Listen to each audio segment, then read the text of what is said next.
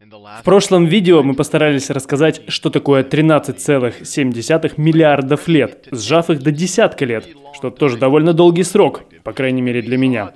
И мы видели, что эти обширные отрезки времени, все, что произошло с момента провозглашения Декларации о независимости США, все это сжимается до отрезка в 5 секунд. Согласитесь, это немного, когда вы думаете о периоде в 10 лет. 10 лет! Это долго ждать.